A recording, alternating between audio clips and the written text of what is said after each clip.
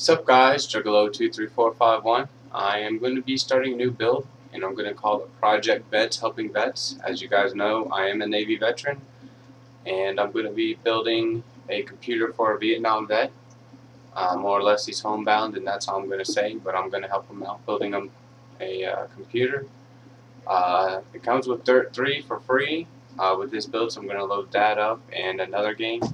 And also, if you're wondering about the towel, um, basically, I don't know if I'll be able to show you guys, but if I take my camera, and hopefully you can see the, you see the bubble right there, the indentation or whatever?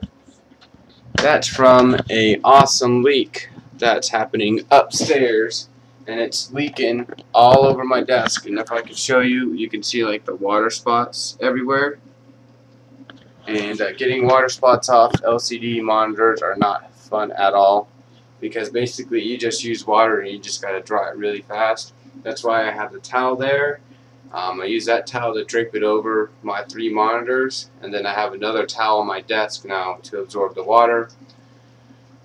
Um, NVIDIA released a new driver, I think it's like 280 decimal 26 or 28, something like that, and they locked the voltage for the GTX 590s again. So I will not be using those at all. I'll be using 280 decimal 19.